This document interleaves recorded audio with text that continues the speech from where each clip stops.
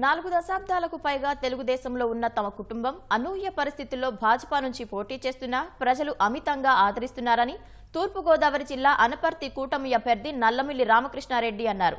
Seat వస్తుందో రాదో అన్న డైలమాలోనూ కార్యకర్తలు అనుచరులు తనను వీడకుండా మరింత అక్కున చేర్చుకున్నారని తెలిపారు. వైకాపా పాలనలో అనపర్తి నియోజకవర్గంలో జరిగిన అక్రమాలు దోపిడీ దౌర్జన్యాలపై ప్రజల పక్షాన పోరాడిన తీరు ఈ ఎన్నికల్లో తనకు విజయాన్ని సమకూరుస్తుందని చెప్పారు. అనపర్తిలో ఘన విజయం సాధించి నియోజకవర్గాన్ని పూర్తి స్థాయిలో అభివృద్ధి చేస్తామనుకుంటున్న నల్లమిల్లి రామకృష్ణారెడ్డితో మా ప్రతినిధి సాయికృష్ణ ముఖాముఖి. ఉమ్మడి తూర్పుగోదావరి జిల్లాలో అందరి దృష్టిని ఆకర్షిస్తున్న నియోజకవర్గం అనపర్తి. నలభై రెండేళ్ళుగా తెలుగుదేశంలో ఉన్న దివంగత నేత నల్లమిల్లి మూలారెడ్డి గారి కుటుంబం ఇవాళ అనూహ్య పరిస్థితుల్లో రాజకీయ పరిణామాల నేపథ్యంలో భాజపా నుంచి పోటీ చేస్తుంది. ఆయన కుమారుడు మూడోసారి అనపర్తి నుంచి పోటీ చేస్తున్నారు. అయితే తెలుగుదేశం నుంచి కాకుండా భారతీయ జనతా పార్టీ తరఫున శాసనసభ్యుడిగా బరిలో నిలిచారు నల్లమిల్లి రామకృష్ణారెడ్డి. అనపర్తి నియోజకవర్గంలో మొత్తం సుడిగాలి పర్యటన చేస్తూ తన గెలుపుకు కృషి చేస్తున్నారు. తాజాగా మారిన పరిస్థితుల్లో ఆయన గెలుపు అవకాశాలు ఎలా ఉండబోతున్నాయనేది అడిగి తెలుసుకుందాం.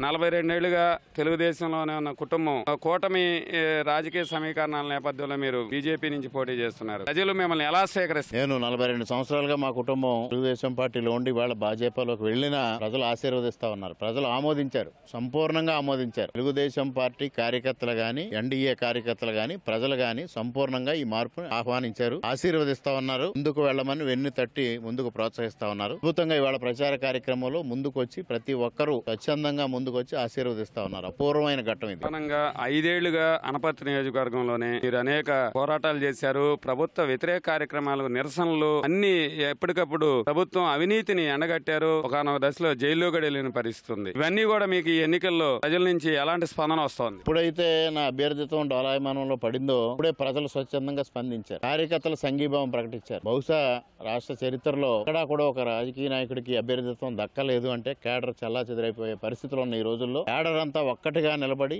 న్యాయం కోసం నల్లమిల్లి కార్యక్రమంలో మేము ప్రజల ముందుకెళ్తే ప్రజలు ఆశీర్వదించారు ఆహ్వానించారు. తప్పనిసరిగా కూటమి అభ్యర్థిత్వం మీకే దక్కుతుందని ఆశీర్వదించారు. వారి ఆశీర్వాదాల ఫలితమే మరలా తిరిగి కూటమి అభ్యర్థిగా నేను బరిలో నిలవడం జరుగుతా ఉంది.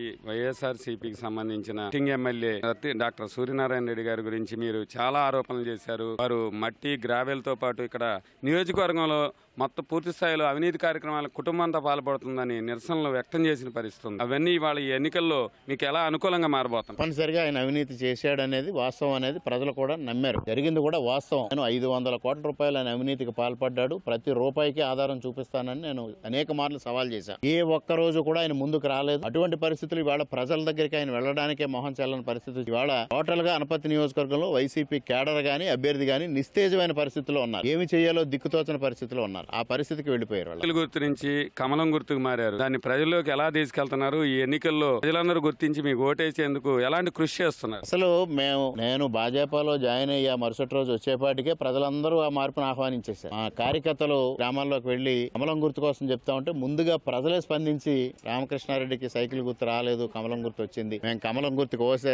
ఓటేస్తాం. అదే విధంగా పురంధరేశ్వరి గారి కమలం గుర్తుకు ఓటేస్తాం. ఇద్దరికి కమలానికి వేసి గెలిపిస్తామని వాళ్ళు మాట్లాడుతా ఉన్నారు. చాలా అద్భుతమైన విషయం.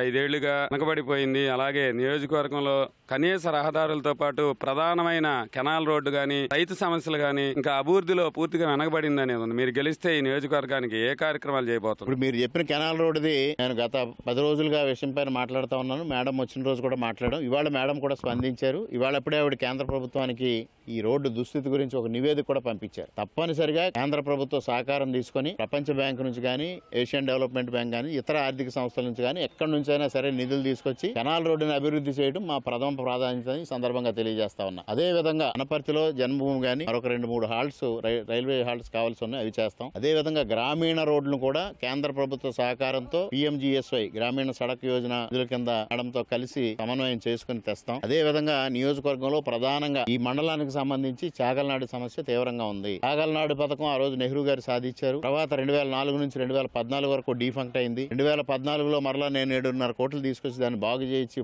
పునరుద్ధరణ చేశాం. మరలా ఇవాళ డిఫంక్ చేశారు. మరలా దాన్ని పునరుద్ధరించాలి సాగునీరు అందించాలి. రంగంపేట మండలంలో ప్రతి ఎకరాకి సాగునీరు అందించాలి. అదేవిధంగా రంగంపేట మండలంలో కొనుగోలు కేంద్రం మినుములు శనగలో కొనుగోలు కేంద్రం మేము ఏర్పాటు చేస్తే ఇవాళ అది నిర్వీర్యం అయిపోయింది. దాన్ని మరలా పునరుద్ధరించాలి. రైతులకి అన్ని విధాలుగా డెల్టాలో రైతులు కొన్ని సమస్యలు ఉన్నాయి. పట్ట ప్రాంతంలో రైతులకు కొన్ని సమస్యలు ఉన్నాయి. డెల్టాలో సాగునీటి వ్యవస్థ మురుగునీటి వ్యవస్థ అస్తవ్యస్తంగా మారింది. దాన్ని బాగు చేసి రైతులకి సక్రమంగా నీరు అందించాలి. పురుగులు ఎరువుల మందులు తగ్గించి తద్వారా రైతుకి న్యాయం చేకూరేలా చూడాలి. విద్య వైద్యం ఉపాధి వ్యవసాయం ఈ నాలుగు అంశాల మీద మేము దృష్టి పెట్టబోతా ఉన్నాం. సక్రమంగా చేసి నియోజకవర్గాన్ని అభివృద్ధి పదంలో నడిపిస్తాం. నల్లమల్లి రామకృష్ణారెడ్డి అభిప్రాయాలు సైకిల్ గుర్తు నుంచి కమలం గుర్తుకు మారిన ప్రజలంతా కూడా పూర్వంగా స్వాగతిస్తున్నారు. ఈ ఎన్నికల్లో ఖచ్చితంగా గెలిచి తీరుతాం. అనపర్తి నియోజకవర్గాన్ని అభివృద్ధి పదంలో ఇచ్చి ప్రజా సమస్యలన్నీ కూడా పరిష్కరిస్తామని ఆయన చెప్తున్నారు. కెమెరామెన్ రమేష్తో సాయి కృష్ణ ఈటీవీ న్యూస్.